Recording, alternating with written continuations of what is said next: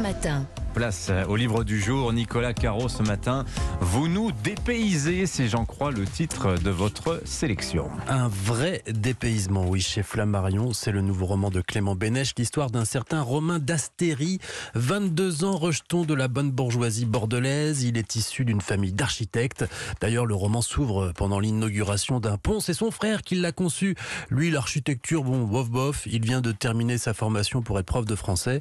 Or, pendant le cocktail qui suit, il entend son père qui dit quelque chose comme Oh, bah Romain, lui, c'est pas demain qu'il aura son portrait dans Sud-Ouest. Ouf Sous-entendu, pas comme son frère dont je suis si fier. Ouais, ça fait mal ça. Hein. Eh ben oui. Alors Romain avale cul sec quelques coupes de champagne et finit par dire leurs quatre vérités à ses parents. Et au milieu de sa colère, il leur avoue aussi qu'il n'a pas demandé son affectation à Bordeaux, mais en Guyane, et qu'ils ne le reverront plus tant qu'il n'aura pas son portrait dans France-Guyane. Voilà. Alors bon, ça va être compliqué parce que le lendemain, il reçoit les résultats de son affectation et il ne va pas du tout en Guyane, mais en Auvergne, Ah oui. à Chaudeza, un village de 1000 habitants. Il est furieux, il appelle le rectorat, mais rien à faire, il doit y aller. Pourtant, il avait acheté sa moustiquaire et tout. Il avait prévu de tout explorer aussi, de révolutionner la pédagogie. Ah oui. Parce que Romain est un passionné de pédagogie positive et innovante. Il a adoré le jargon de l'Institut, les rituels structurants, les conflits socio-cognitifs, ça veut dire bagarre entre élèves, les groupes en motricité, ça, ça veut dire chahut, vrai, etc. c'est le- vrai C'est dans le roman. Moi, je m'occupe que de fiction. Alors en tout cas, il va appliquer euh, ses méthodes innovantes en Auvergne. Mais absolument. Déjà, pas de bonjour collectif à la classe. Chaque élève a son check personnalisé.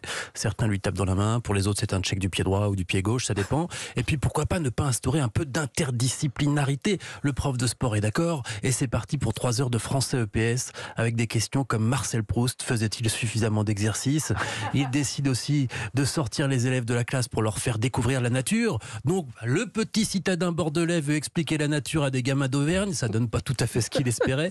Et surtout, la principale commence à en avoir marre. Il faut dire qu'elle est son exact opposé. Elle, elle organise des journées Troisième République. Elle éteint le chauffage. Les élèves passent une blouse et on sert du gras double à la cantine. J'en passe. C'est un roman très très drôle. Vous avez compris, une satire, non pas de l'école, mais des certitudes. C'est aussi diablement intelligent sur notre manière de se choisir un rôle, un statut un peu artificiel, de plus vouloir en sortir. Et surtout, surtout, c'est écrit avec un ton très très juste. Un vrai dépaysement, donc, c'est ici le titre de ce roman signé Clo- euh, Clément Bénèche, pardon, c'est chez Flammarion. Ça donne envie, en tout cas, la présentation. Le jeu vidéo de la semaine, Caroline Speller. Alors, c'est une adaptation d'un manga qui, a- qui vient de fêter ses 25 ans. C'est tout simplement le manga le plus vendu de tous les temps. 500 millions d'exemplaires écoulés dans le monde. On peut dire qu'il y en a pratiquement un dans chaque foyer de la planète. À mon avis, oui, c'est à peu près ça, même plus.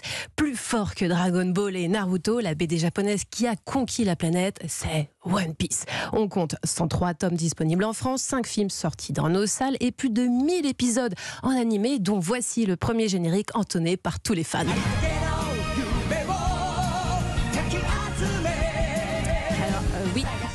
Quand on est fan, on chante en japonais. hein. Alors, si One Piece est devenu culte C'est votre cas euh, Vous connaissez les paroles hein alors c'est Ouya, je ne connais pas toutes les paroles par cœur. Alors si One Piece est devenu culte auprès de plusieurs générations, c'est d'abord pour son monde imaginaire, loufoque, empreint de piraterie, mais c'est surtout pour son personnage Luffy qui sillonne les mers comme Ulysse dans l'Odyssée. Sauf que lui, bah lui, il part euh, pour trouver le trésor légendaire, le One Piece, et devenir le roi des pirates. Luffy, c'est le genre de héros naïf et sans filtre qui a le cœur sur la main et qui se bat aussi contre l'injustice et les discriminations. Et ce sont tous ces codes qu'on retrouve dans le nouveau jeu One Piece Odyssey. Alors souvent les, les mangas adaptés en jeux vidéo, c'est du combat. Est-ce que c'est le cas de ce nouveau One Piece Odyssey? Alors oui, il y en a, comme dans le manga, mais pas que.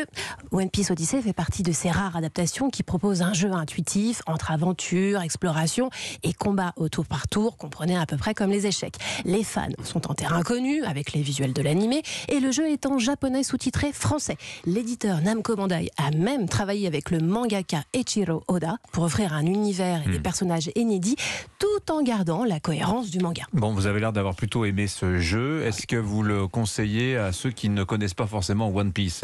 Alors, on peut ne pas être un, un connaisseur car concrètement, euh, Luffy et son équipage échouent sur une île, leur bateau est détruit, ils ont perdu tout leur pouvoir. C'est comme si l'équipage du chapeau de paille repartait de zéro, Oui. qu'on les découvrait, mais cette fois-ci, bah, ma- ma- manette en main. Le chapeau de paille, c'est le surnom de Luffy, hein, Tout pour ceux à qui ne fait. connaissent pas. Parce qu'il a un chapeau de paille et, un- Voilà. et une petite unique rouge. On se remet un peu le générique hein Oh oui